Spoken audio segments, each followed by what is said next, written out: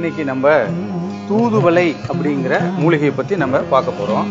இந்த தூதுவளை மூலிகை வந்து சாதாரணமா எல்லா இடங்கள்லயும் கிடைக்கக்கூடிய மூலிகை தான் இந்த மூலிகை வந்து பொதுவா குழந்தைங்களுக்கு சளி இருமல் காய்ச்சல் மேலும் சுவாச கோளாறு அதன் மூலமா வரக்கூடிய நோய்களை எல்லாம் தீர்க்கக்கூடிய வல்லமை வாய்ந்த இந்த மூலிகை. இதை பத்தி தான் நம்ம பார்க்க போறோம். தூதுவளை மூலிகையில பாத்தீங்கன்னா முள்ளு நிறைய இருக்கும். அந்த முள்ளை வந்து பெண்கள் வீட்டில் கையாளும் போது இதை வந்து ரொம்ப கவனத்தோட கையாளணும். தூதுவளை மூலிகையை வைத்து நம்ம எப்படி சூரணம் தயாரிப்பது அப்படிங்கறத பத்தி நம்ம பார்க்க போறோம். ஐயா இதுல பாத்தீங்கன்னா காம்போட இருக்கு. சோ காம்போட தான் நம்ம தயார் செய்யணும் கண்டிப்பாமா காம்பு போடுறதால இந்த காம்புக்குன்னு ஒரு தனி மகத்துவம் இருக்கு.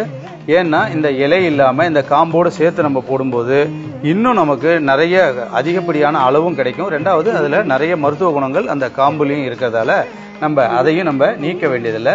சேர்த்தே போட்டுக்கலாம். இப்போ இப்படி போட்டு இதனுடைய அளவு என்ன ஐயா? எவ்வளவு அளவுல போடணும்?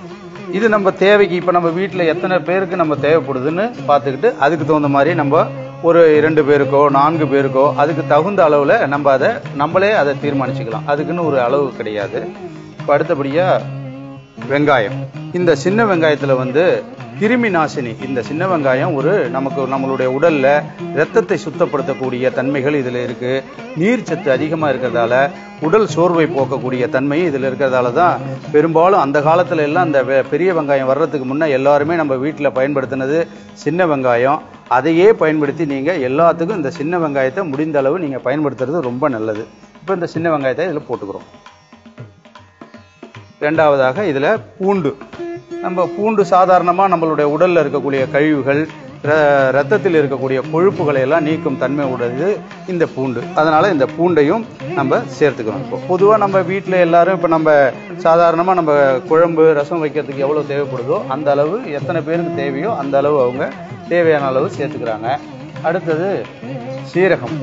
நம்மளுடைய அகத்தை சீராக வைத்துக் கொள்ளக்கூடிய இந்த சீரகம் அகத்தை சுத்தப்படுத்தக்கூடிய மிகப்பெரிய ஒரு அரிய வகை மூலிகை இந்த சீரகம். இப்போ அடுத்தபடியா பாத்தீங்கன்னா சுக்கு தூள் அதாவது தோல் நீக்கி சுத்தம் செய்யப்பட்ட இந்த சுக்கு தூளை நம்ம பயன்படுத்துறோம். சுக்குத்தூள் இந்த அளவுக்கு பயன்படுது சுக்குத்தூள் அதிகமா போடக்கூடாதுமா.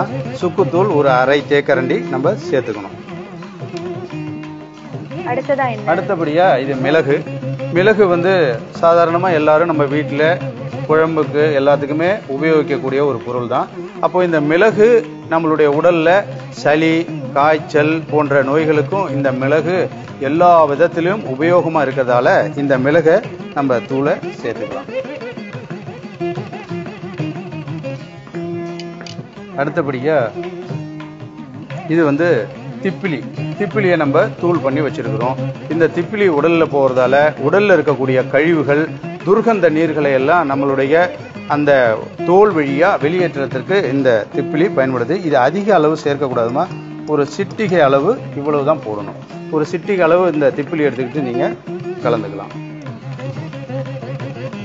அடுத்தபடியா மிக முக்கியமான ஒரு விஷயம் கருவேப்பிலை. இது ஏன் இந்த கருவேப்பிலைன்னு கேட்டிங்கன்னா இதுல வந்து அயன் சத்து நமக்கு உடலுக்கு இரும்பு சத்து தரக்கூடிய இந்த கருவேப்பிலை இதுல சேர்க்கறதால சுவையும் கூடி நமக்கு மருத்துவ குணத்தையும் தரக்கூடிய இந்த கருவேப்பிலையை நம்ம சேர்த்துக்கிட்டு நம்ம உடலுக்கு நல்ல ஆரோக்கியத்தையும் கொடுக்கும். அதனால இந்த கருவேப்பிலையவும் கொஞ்சம் இதுல சேர்த்துக்கிறோம். ஏன்னா பொதுவாக இப்போ கஷாயம்னு சொன்னோடனே மூலிகையை வச்சு அவங்க எல்லாம் செஞ்சு பார்க்கும்போது அவங்களுக்கு என்ன பண்ணுவாங்க? கஷாயம்னு எல்லாரும் முதல்ல பயந்துருவாங்க. இதை எப்படி சாப்பிட்றது? இது சாப்பிட்றதுக்கு ரொம்ப கடுமையாக இருக்கும் அப்படின்னு சொல்லி யோசிப்பாங்க. அதனால் நம்ம இதில் இப்போது நம்ம வீட்டில் சாதாரணமாக நம்ம உணவில் சேர்க்கக்கூடிய இந்த பொருள்களை எல்லாம் சேர்க்கும்போது அவர்களுக்கு இது ஒரு உணவு மாதிரியே ஆயிடுறதால இந்த கஷாயம் என்ற சொல்லால அவங்க பயப்பட வேண்டியதில்லை. இப்போ பிரமாதமான வாசனை வர ஸ்டார்ட் ஆயிடுச்சுங்க ஐயா. சோ வெந்துருச்சுன்னு நினைக்கிறேன் இல்லைங்களா? ஆமாமா இது நம்ம சமைச்சுக்கிட்டு இருக்கும்போதே இதனுடைய இந்த வாசனை வச்சு நம்ம கண்டுபிடிச்சிடலாம். எந்த அளவு வெந்திருக்குதுன்னு பொதுவா பெண்களுக்கு இதை தயாரிக்கிறவங்களுக்கு தெரியும். இது வெந்துட்டுது. இந்த நம்ம போட்ட கலவையெல்லாம் நல்லா வெந்து வாசனை வந்துடும் நல்ல மூலிகையுடைய வாசனை வந்துடும் இந்த மூலிகையெல்லாம் வதங்கி நல்ல வெந்த பதத்துக்கு வந்துருச்சுங்கிறத எல்லாமே தெரிஞ்சுக்குவாங்க. பொதுவா எவ்வளவு நேரம் வேக வைக்கிறதுக்கு டைம் ஆகும் டைமிங்மா இது வந்து நேரம் அப்படின்னு சொல்லி பார்த்தீங்கன்னா ஒரு பத்து நிமிடங்கள் பதினைந்து நிமிடங்கள் போதுமானது. இப்போ நம்ம இதை என்ன பண்றோம்? இதை வந்து நம்ம சுத்தமா இதை வடிகட்டிக்கிறோம். கேஸ் ஆஃப் பண்ணிட்டு இப்ப அதை இதை வடிகட்ட வடிகட்டுறோம்.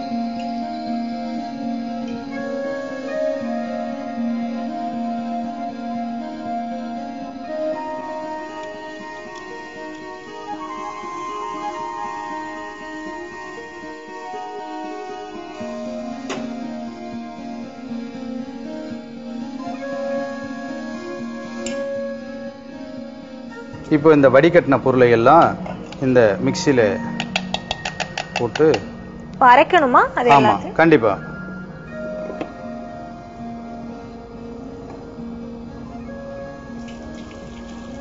இந்த சாரை திரும்ப வடிகட்டணும். ஆமா திரும்ப ஒரு முறை வடிகட்டிக்கிறோம்.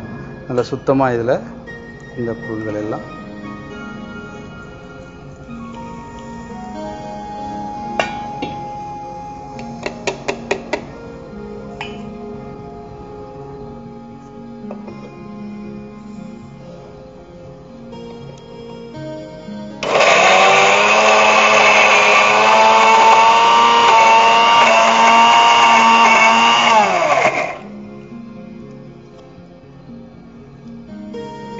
இப்போ இதுல இதையே வந்து சிறிதளவு சேர்த்துக்கொள்ளுங்க.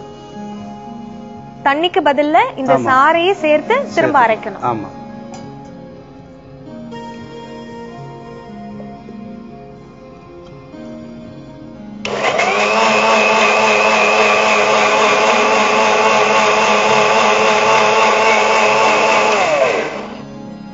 இப்போ அரைச்சு ரெடி ஆயிடுச்சு இல்லைங்களா ஆமா.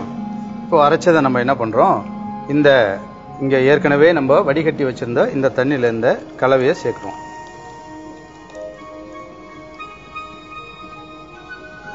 இப்ப இது வந்து பெரியவங்கல இருந்து சின்னவங்க வரைக்கும் சாப்பிடலாமா? இல்ல வயது வரம்பு இருக்கா இந்த கசாயம் சாப்பிடுறதுக்கு? இந்த தூதுவளையை வந்து சின்ன குழந்தைங்களுக்கு அரைச்சி தேன்ல கலந்து கொடுக்கலாம் கை குழந்தைங்களுக்கு. அது வந்து ரொம்ப வீரியம் அதிகமா இருக்கிறதால குழந்தைங்களுக்கு கொடுக்கும்போது ரொம்ப ஜாக்கிரதையா கையாளணும். அதாவது குறைந்தது ஒரு இரண்டு மூன்று வயதுக்கு மேற்பட்ட குழந்தைகளுக்கு கொடுக்கறதால அந்த குழந்தைங்களுக்கு நல்ல பலனை தரும். இது வந்து உஷ்ண மூலிகைங்கிறதால குழந்தைங்களுக்கு ஒரு பத்து பதினைந்து வயதுக்கு உட்பட்ட குழந்தைங்களுக்கு பார்த்தீங்கன்னா குறைந்த அளவு கொடுக்கணும். ஒரு ஐம்பது மில்லி அதுக்கு மேலே கொடுக்கக்கூடாது அதே போல் பெரியவங்களுக்கு ஒரு அரை டம்ளர் ஒரு டம்ளர் வரைக்கும் பெரியவங்க சாப்பிடலாம். இப்போ நல்லா கொதி வந்துருச்சு. இதை வச்சு வடிகட்டுறோம்.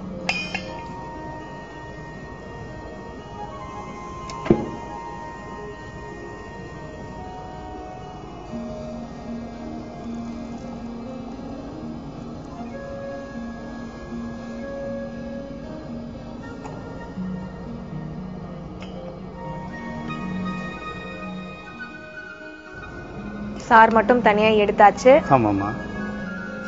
இப்போ இதில் பார்த்தீங்கன்னா இந்த உப்பு தேவையான அளவு நம்ம இப்போ கஷாயம் காய்ச்சிட்டோம்.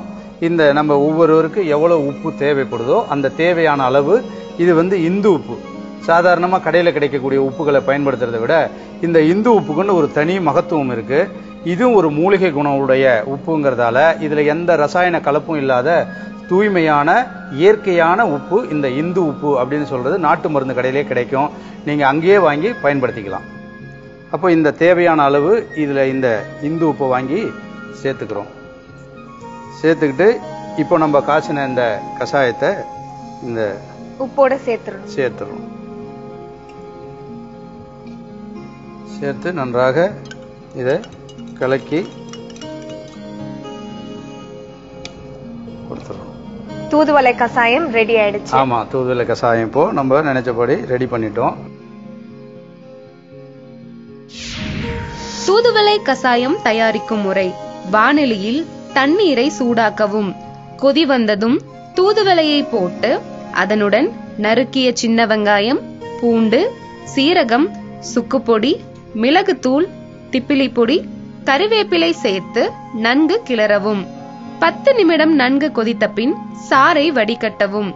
வடிகட்டிய தூதுவளையை மிக்சியில் போட்டு அரைத்து ஏற்கனவே எடுத்து வைத்த சாற்றுடன் சேர்த்து கொதிக்க விடவும். பின்பு அதனை வடிகட்டி சிறிதளவு இந்துப்பு சேர்த்தால் தூதுவளை கசாயம் தயார்.